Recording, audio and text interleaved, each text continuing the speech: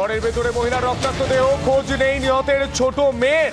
যে খবরে নজর রাখতে হচ্ছে, ঘরের ভেতরে মহিলার রক্তাক্ত দেহ, খোঁজ নেই নিহতের ছোট মেয়ের। আসানসোলের ঘটনায় চাঞ্চল্য। টালি সরিয়ে ভেতরে ঢুকে খুন, এমনটাই মনে করা হচ্ছে। টালি সরিয়ে ভেতরে ঢুকে খুন, টালির বাড়িতে টালি সরিয়ে ভেতরে ঢুক- খুন। ছোট জামাইয়ের বিরুদ্ধে অভিযোগ অভিযোগ নিহতের বড় মেয়ের। পলাতক অভিযুক্ত জামাই, এই মুহূর্তে সেই ছবি দেখতে পাচ্ছেন, আসানসোলের ছবি দেখতে পাচ্ছেন। আসানসোলে মহিলার রক্তাক্ত দেহ উদ্ধার। ঘরের ভেতর, ভেতরে মহিলার রক্তাক্ত দেহ। ঘটনাস্থলে পুলিশ এই মুহূর্তে গোটা বাড়ির চারপাশ ঘুরে দেখছে পুলিশ আধিকারিকেরা। এই মুহূর্তে সেই ছবি।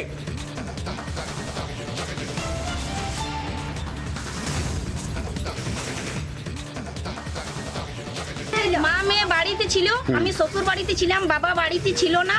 বাবা বাইরে থাকে, বাবা বাইরে কাজ করে, একবার করে বাড়িতে আসে, মা বোনকে দেখতে। কালকে মায়ের সঙ্গে আমার কথা হয়েছিল রাত্রের বেলায় মা বলল, খাবার খেয়ে আমি ঘুমিয়ে যাচ্ছি, তুই রাখ, তুইও খাবার খেয়ে নে। তারপর আমি কিছু জানি না, এই সকালে আমাকে খবর দেওয়া হলো, তারপর আমি এলাম। তারপর দেখছি যে টালি ভেঙে নিচে নেমে রক্তাক্ত গোটা গোটা বাড়িটা রক্তাক্ত। পাওয়া যায়নি। বোন তো বাড়িতেই নেই। মাকে মেরে দিয়েছে আর বোনকে কোথায় নিয়ে চলে গেছে জানি না। ঘটনাটা ওই একজন মানে আমার মাসি হয়। মাসিকে ওর মেয়ের জামাই মানে হত্যা করেছে। মানে বলতে প্রায় মারামারি করতো। একবার হাফ মার্ডার করছিল আগে বছর। না তখন কেউ ধরা পড়ে না। পুলিশ এসেছিল। হ্যাঁ পুলিশ এসেছিল পুলিশের লাশ নিয়ে চলে গেল। ভোরবেলা সবাই ঘুম থেকে উঠল, তারপর দেখা গেল যে কোপারটা খোলা আছে। ওই কোপারটা ওদের কোনো কোনোদিনই খুলে না। সেই কোপারটা খোলা আছে। তারপর দেখল যে একটা একটু রক্ত দেখাচ্ছে। রক্তটা দেখার পর সবাই গায়ের লোককে জানালো যে রক্ত কী কারণে দেখাচ্ছে, হাঁকাচ্ছে? বাড়ির লোকে দুটো জানে সবাই যে একটা মহিলা থাকে একটা মেয়ে থাকে। জিজ্ঞেস করছে, হাঁকাচ্ছে তো ওদের রা পেছে নাই? তারপর দেখা গেলো যে পাশের বাড়িতে তালা দিয়ে আছে। পাশের বাড়িতে তালা দিয়ে আছে তালাটা খোলা হলো, তালা খোলার পর ও বার হলো, তারপর হাঁকাচ্ছে।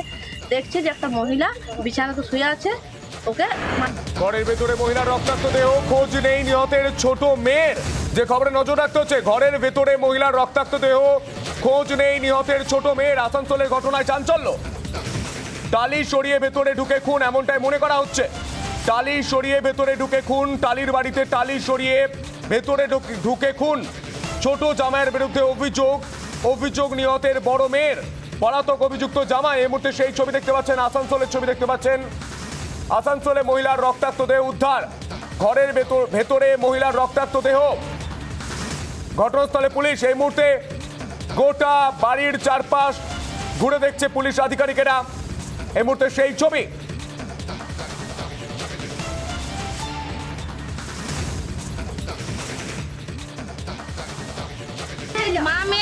ছিল আমি শ্বশুর বাড়িতে ছিলাম বাবা বাড়িতে ছিল না বাবা বাইরে থাকে বাবা বাইরে কাজ করে একবার করে বাড়িতে আসে মা বোনকে দেখতে। কালকে মায়ের সঙ্গে আমার কথা হয়েছিল রাত্রের বেলায় মা বলল খাবার খেয়ে আমি ঘুমিয়ে যাচ্ছি তুই রাখ তুইও খাবার খেয়ে নে। তারপর আমি কিছু জানি না এই সকালে আমাকে খবর দেওয়া হলো তারপর আমি এলাম।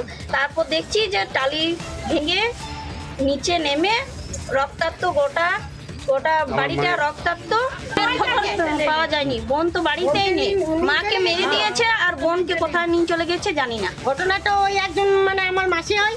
মাসিকে ওর মেয়ের জামাই মানে হত্যা করেছে। মানে বলতে প্রায় মারামারি করতো। একবার হাফ মার্ডার করছিল আগে বছর। না তখন কেউ ধরা পড়ে না পুলিশ এসেছিল।